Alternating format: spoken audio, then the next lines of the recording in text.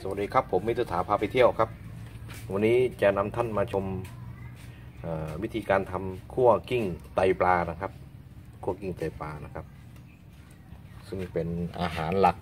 อีกชนิดหนึ่งนะครับของคนใต้ แล้วก็คนของคนทั่วทั่วทุกภาคนะณเวลานี้นะครับ แล้วก็แกงคั่วกิ้งไตปลานี่ มันไม่เหมือนกับแกงคั่วแกงไตปลาทั่วๆไปนะครับ กงไตปลาทั่วๆไปนี่เราจะใส่พวกผักอะไรทุกอย่างเข้าลงไป แต่สำหรับคั่วกิ้งไตปลานี่คือเราจะเน้นพริกแกงกับปลานะครับ แล้วก็ไตปลาใส่ลงไปนะครับ แล้วก็แกงไตปลาคั่วกิ้งแกงไตปลานี่จะเป็นอาหารชนิดหนึ่งที่ทานแล้วอร่อยมาก ทานกับข้าวร้อนๆนะฮะ ยอดของความอร่อยนะครับวิธีการก็อันแรกเราก็การเตรียมก็คือเราจะมีแกงเผ็ดนะฮะหรือแกงไตปลานะครับ เครื่องแกงไตปลาครับ แล้วเราก็จะเตรียมไอ้ไตปลานะครับ ไตปลาอะไรก็ได้นะสารพัดชนิดแล้วแต่ชอบนะครับ แล้วก็มีปลาทูนะครับ เราจะใช้ปลาทูนะฮะบางคนก็ใช้ปลาโอ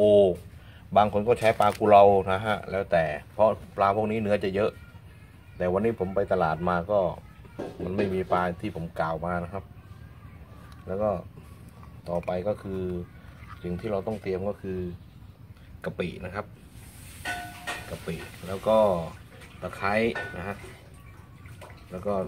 ขานะครับ แล้วก็หอมแดงนะครับ อันนี้คือไอ้สามสิ่งนี้นะฮะคือข่า หอมแดงแล้วตะไคร้นี่ เดี๋ยวเราหั่นเป็นหั่นนะหั่นหั่นหั่นแล้วเดี๋ยวเราก็จะจะโขลกนะฮะโขลกนะครับ เราจะโขลกให้มัน ไม่ต้องถึงขั้นละเอียดนะฮะโขลกพอประมาณนะครับนะครับ หลังจากนั้นเราก็จะนำไปอ่าทำตามวิธีการนะครับก็ขอเชิญท่านติดตามได้เลยนะฮะวิธีการนะครับก็คือ เราก็จะนำเอาใส่น้ำลงไปนะฮะน้ำเปล่า หลังจากนั้นเราก็ใส่ไตปลาลงไปนะครับ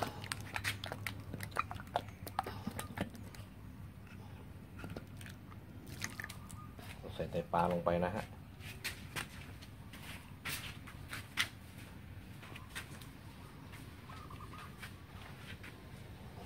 พอใส่ไตปลาลงไปเสร็จสับเป็นที่เรียบร้อยนะฮะ เดี๋ยวเราก็จะเคี่ยวนะครับ ก็ใส่ไส้ปลาใส่ลงไปนะฮะ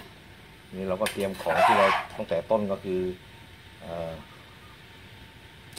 หอมแดงนะครับข่าแล้วก็ตะไคร้นะครับเรามาโขกโขกเข้าด้วยกันนะครับ โขกเข้าด้วยกัน แล้วเราก็เอามาต้มต้ม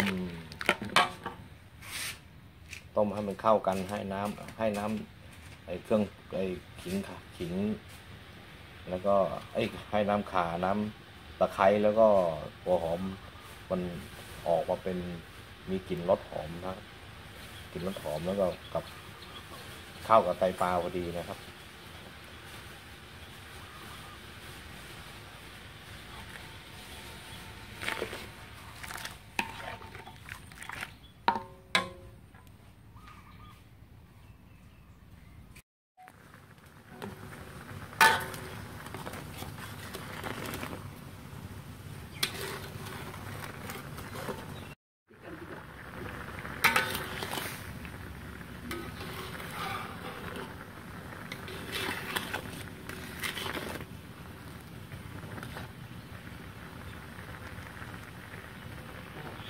ะเราต้มจนเดือดเลยนะครับ เดือดแล้วเดี๋ยวเราจะนำไปกรองนะครับ เดี๋ยวเราจะนำไปกรองนะครับอันนี้เราก็ได้แล้วนะฮะ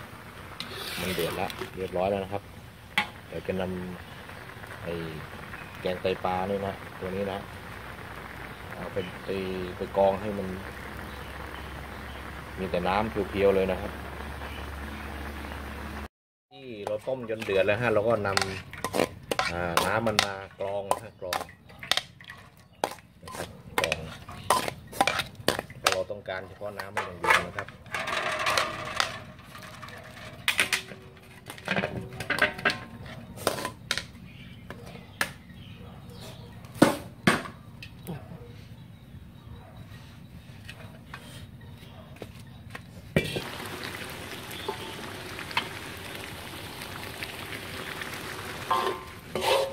เราเคี่ยวไปเรื่อย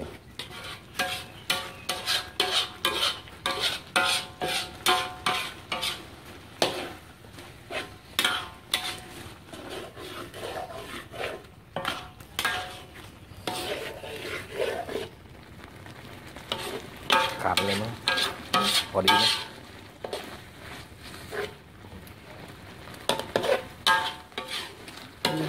โอเคไหมใส่น้ำเปล่าฮะใส่น้ำปลาอ๋อเค็มสุดเลยปกติก็ใส่ปลาเลย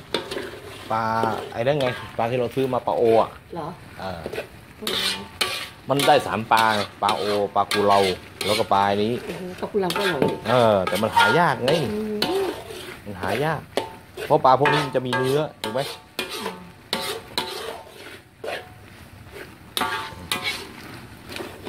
โอ้โหมันเป็นน้ำพริกนะเนี่ย เป็นน้ำพริกของคนใต้โดยตรงเลยเนี่ยนี่ก็ผักซื้อยาเราเราคั่วจนมันกิ้งได้อะนะคือ ที่คุณมานมนะจะได้หรือไม่ได้นะผมไม่ต้องนะผมจะถ่ายไปครับยกลงก่อน